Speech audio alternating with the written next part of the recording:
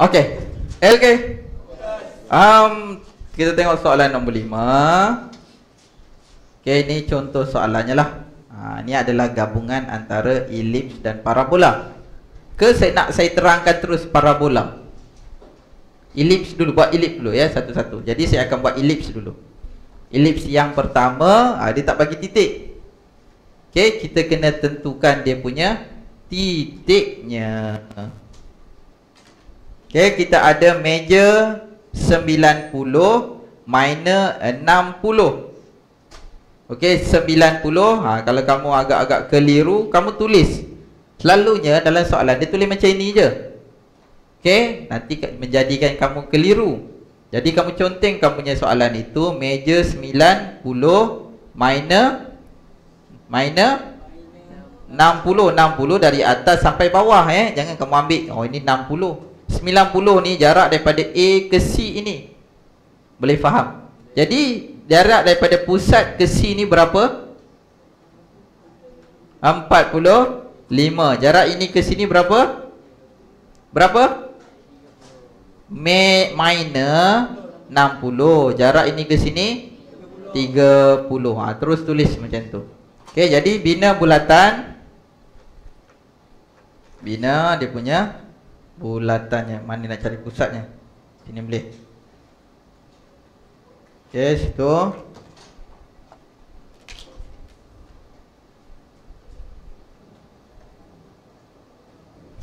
Okey, kalau nak separuh, janganlah lukis penuh, lukis separuh ajalah ya.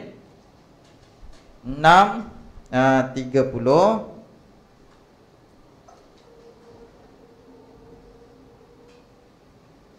30 di situ lagi satu 45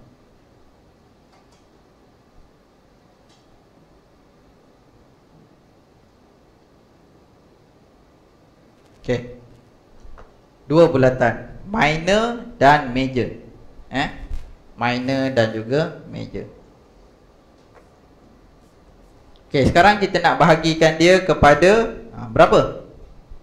Yang ini kena tambah lagi dua, di sini pun kena tambah lagi dua. Gunakan set square 60 30. Ini dah dapat satu. Ini dah dapat satu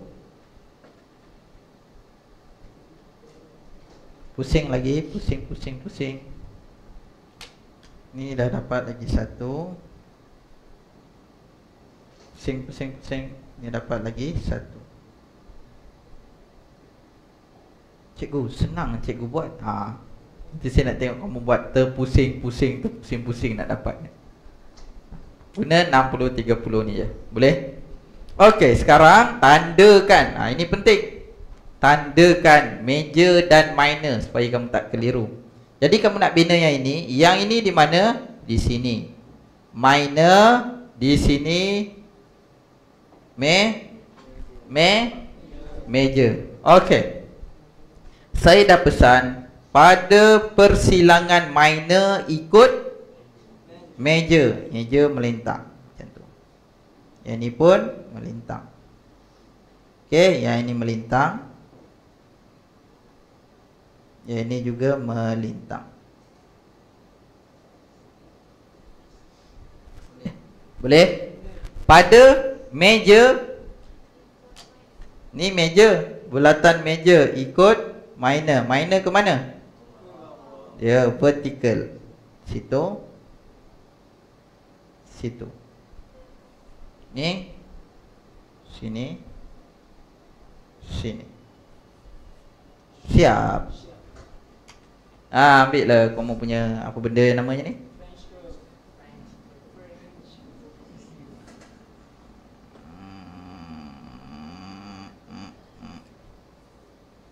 Mana guna ni ah? Tak boleh pun Tak dapat pun ni Boleh ke kopi tu? Ada lagi tak? Mana ini ada tiga kan lagi Mana lagi? Dua Besar benar Ha tu macam kena Tak kena Umi kata tak kena kita tengok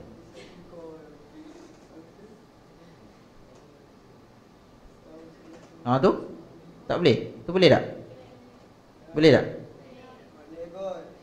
Mana boleh ikut kod? Boleh-boleh lah.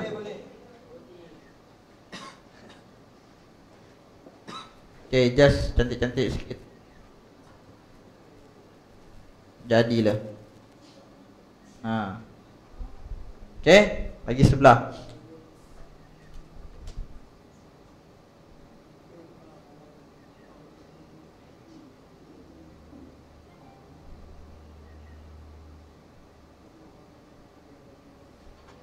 Okay, macam itulah Lebih kurang Boleh faham?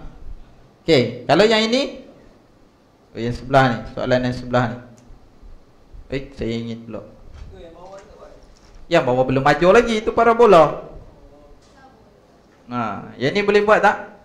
Ke nak ajar juga? Ke selaka sini? Ha, nak buat juga cikgu Buat cikgu, buat hmm. Okay, saya buatlah Buatlah terus Senang je ni Okay Ikut meja uh, Saya tarik luar sikit Okay situ Ambil pusat tengah-tengah Situ Meja berapa? Minor berapa? Ini minor 60 Jadi sini 30 Betul? Uh, ini minor 30 Meja 40 Kan? Ke saya silap?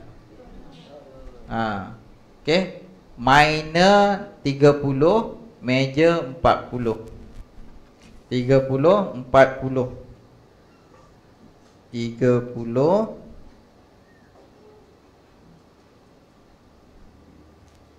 Di satu? 40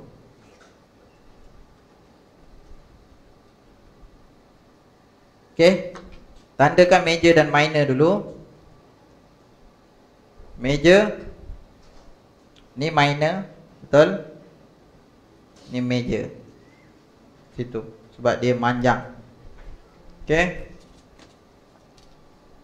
Puluh Enam puluh. Pusing lagi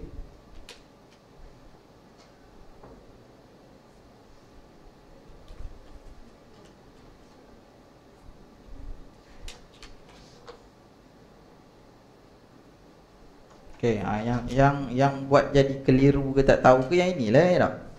Okey. Bulatan minor ikut major. Major ke mana? Vertical eh. Okey. Eh sorry, bawah situ pula. Ini dah ke dalam. Dia ke atas lah. Faham tak? Kalau kamu ke bawah, mana mahu dimasuk dalam dalam bulatan dia mesti keluar daripada bulatan eh. Faham eh? Kamu tak buat cikgu tak jumpa, kamu buat situ dah ke dalam begini. Kan? Ha. Bukan ke dalam, keluar. Masuk ke dalam pula. Jadi ke ikut arah luar tu, luar ke luar. Okay, yang ni, ha ini barulah ke bawah. Yang ni ke bawah. Okay, my uh, paksi Bulatan meja ikut minor. Dia kecil je sikit sebab dia punya jarak tu. Okey, ha, betul kamu gunalah French curve tu. Boleh? Okey, habis selesai. Ada soalan? Ada soalan?